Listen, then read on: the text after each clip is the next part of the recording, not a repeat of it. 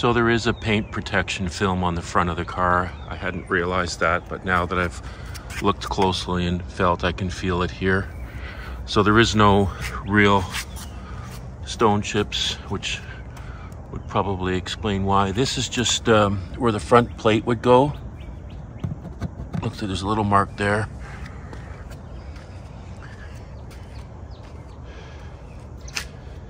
There's right front rim.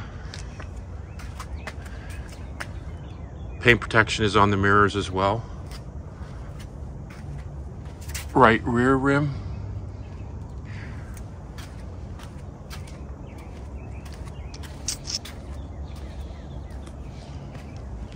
Left rear rim. Again, I don't see any marks.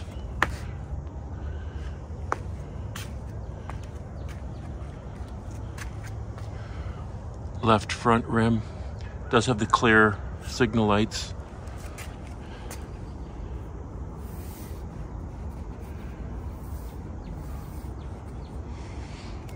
it's just a